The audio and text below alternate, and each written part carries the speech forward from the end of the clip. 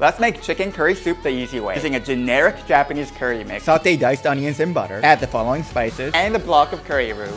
Keep mixing in medium heat until they're all intertwined. Add the following into the pot. Pour water and chicken bouillon. Mix it up. Bring it to a boil in medium heat. Mix it up and close the lid. Alright, now let it simmer in low heat for 15 minutes. Looking good. Add parsley.